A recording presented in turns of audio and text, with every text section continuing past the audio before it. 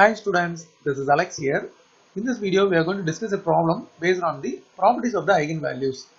If 2 minus 1 minus 3 are the eigenvalues of the matrix A, then we have to find the eigenvalues of the matrix A square minus 2i. We are going to use a property.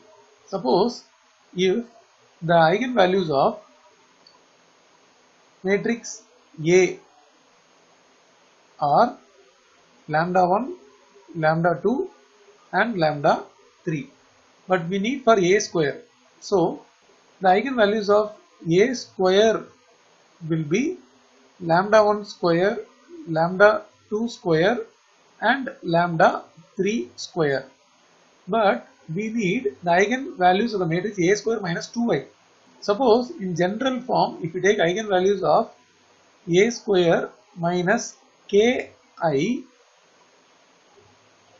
then it will be lambda 1 square minus k, lambda 2 square minus k and lambda 3 square minus k.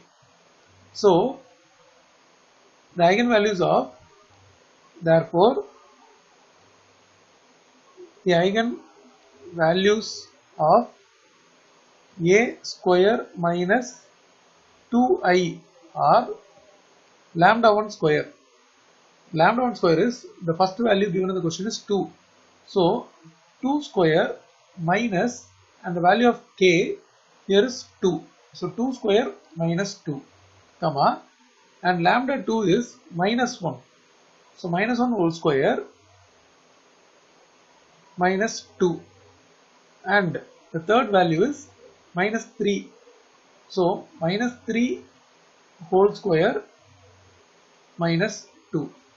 So this is 4 minus 2, this is 1 minus 2 and this is 9 minus 2. Totally this is 2 minus 1 and 7.